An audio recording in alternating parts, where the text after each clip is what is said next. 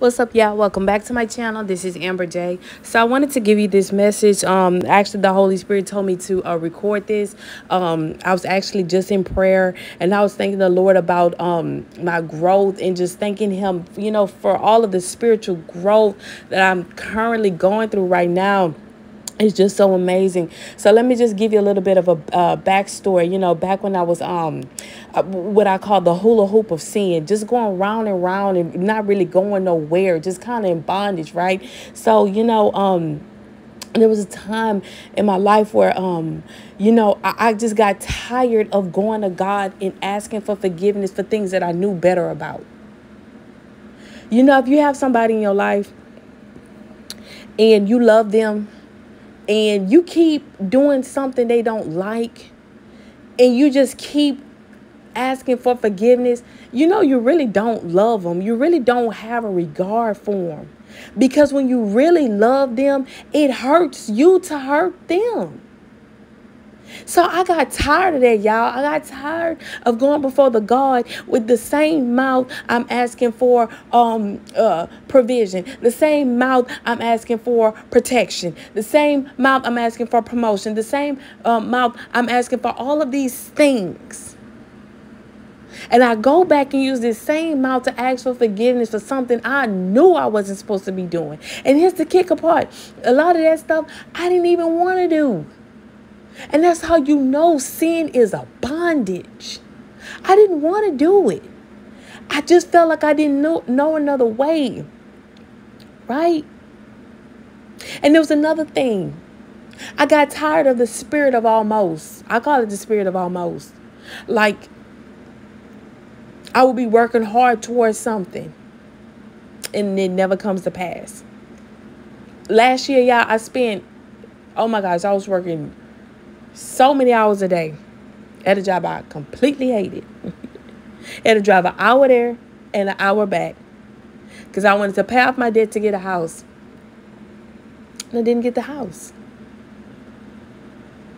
You know, there was so many things, like just like I said, just a spirit of almost. Now, the Bible says we're more than conquerors, but you gotta conquer something to be more than a conqueror, right? So I got tired of it all. And I couldn't blame the Lord because I knew there was things in my life I wasn't doing.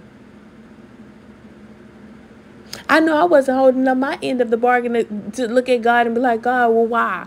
Or God, well, how? Or God, why you didn't let this happen? Or why you let this happen? You know, I, I knew I wasn't keeping my end of the bargain. So listen, y'all. They got a time, like I said, I got tired of it. I got tired of it and I pressed towards Christ more. I started fasting. I got rid of so much music, y'all.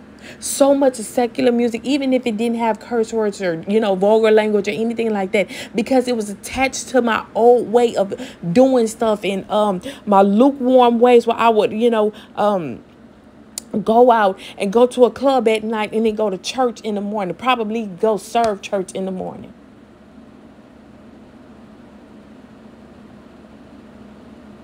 So much, y'all, I got rid of. And when I got rid of it, y'all, let me tell you.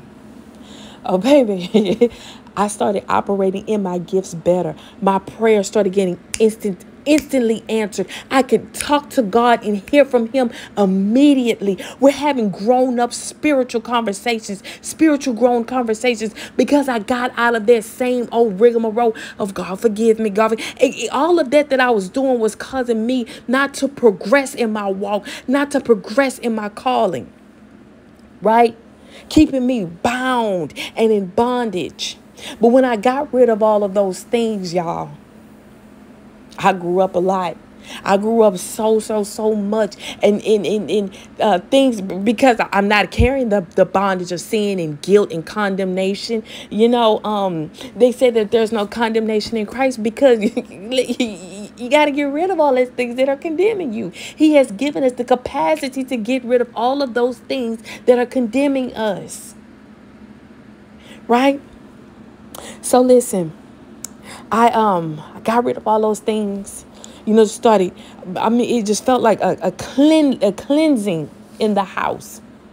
It just felt like a cleansing, you know, it, even in, in my spiritual house, my temple, my body, you know, um, um, and then also my physical house, you know, my dwelling where I live, everything just, you know, just got better. Things begin to flow. Um, just supernatural provision. I mean, uh, I mean, it just, it just, just so much that felt like it was uh, being held up just got loose. I just began to move freely, you know, because I began to walk in my authority.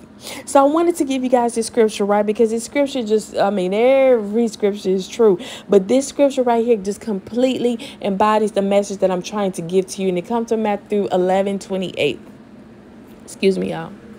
And it's this it says, Come to me, all you who are tired and are carrying heavy loads.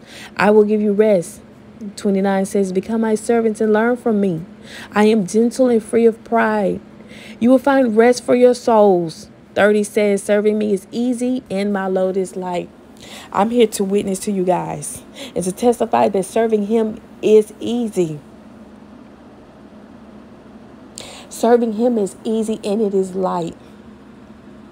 He gave us His name to carry. To walk in authority, to get provision, to rebuke and bind the devil in his name. Listen, you guys, I encourage you and I pray I pray for you. And I pray that if there's any sin that is causing so much bondage and so much um, um, uh, shackles in your life, that's just holding you down and holding you captive, I pray and ask in the name of Jesus that you let them go and get on this glorious side, this easier side. Because trust me, the Lord loves you more than you will ever know. You guys have a great night.